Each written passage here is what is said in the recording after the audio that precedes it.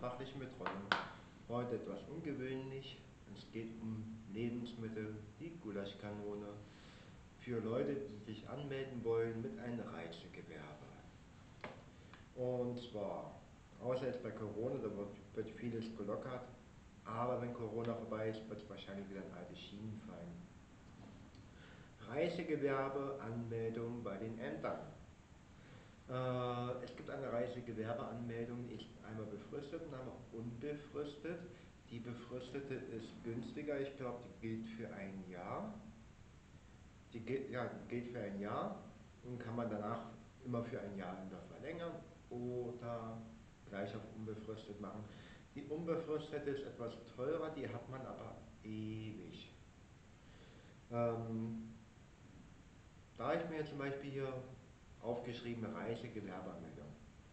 Rufen Sie das Gewerbeamt an und fragen Sie nach Ihrem Bearbeiter, holen Sie sich die Öffnungszeiten ein und bringen Sie genug Geld mit. Gewerbeanmeldung, obwohl heute, heutzutage ist das nur noch über Kartenzahlung. Die Gewerbeanmeldung selber ist das gleiche. Dann ist das Ordnungsamt wichtig. Das Ordnungsamt kontrolliert am Stand, wenn das Reisegewerbe angemeldet ist und man hat sein Gerät, ob jetzt ein Gulaschkanone oder sonst irgendwie ein Stand dazu stehen, der was mit Lebensmitteln zu tun hat, ähm, ja, den jeweiligen festen Standort, ob alles nach Vorschrift ja, verrichtet ist.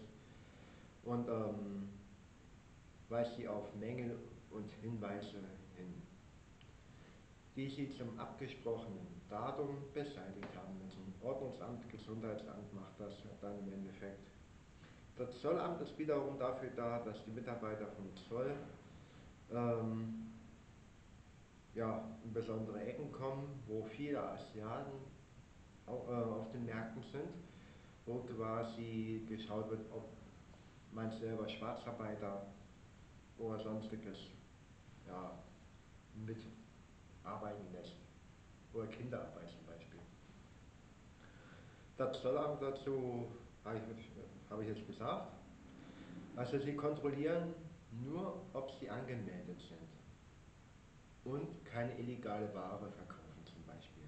Oder Schwarzarbeiter bei sich haben. Ist ja oft beim Bau so.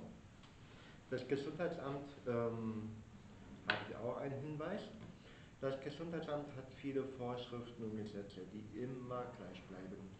Erstens der PVC-Belag um die Gulaschkanone, ähm, ein Zelt mit drei Seitenwänden, die vierte Seitenwand ist offen, denn man muss ja auch an die Gulaschkanone ran.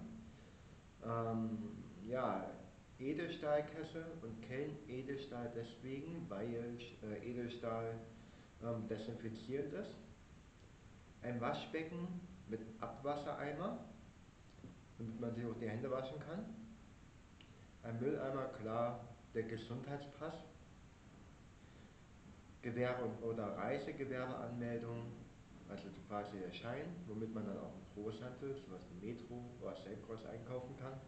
Personalausweis, ganz klar. Es wäre immer sinnvoll eine weiße Arbeitskleidung, aus dem ganz einfachen Grund, das sieht das gerne, weil man dann eben sieht, dass man sauber ist. Ist wie im Krankenhaus. Wer da Flecken hat, ist unrein. Das ist ein altes Sprichwort.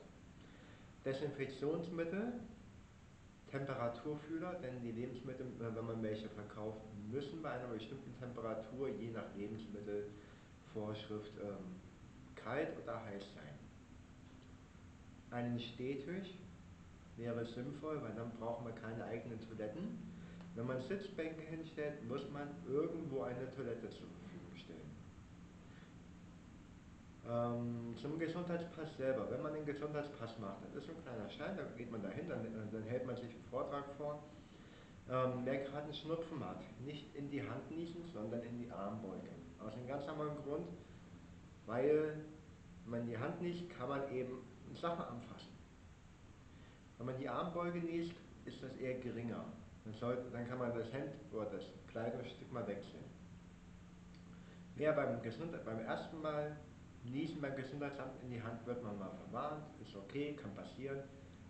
Wer aber nach der Ermahnung ein zweites Mal in die Hand nicht, kann sofort rausgehen, die 14 oder 21 äh, Euro waren dafür ihn hindern und muss die ja nochmal bezahlen und den Gesundheitspass nochmal neu machen. Also man kann sich dann doppelte Kosten ersparen. Äh, zum Finanzamt, die Anmeldung.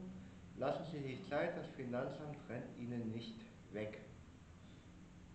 Und wenn, kommt es von alleine. Sie sollten auch trotzdem alle Unterlagen fertig haben und so weiter. Wenn das Finanzamt kommt, äh, füllen Sie Ihren Antrag aus zum Thema ähm, Selbstständigkeit mit der Statistik, die Sie gemacht haben. Und ähm, dann ist das eigentlich auch erledigt und dann warten Sie nur auf die Antwort vom Finanzamt und überprüfen das einfach nochmal.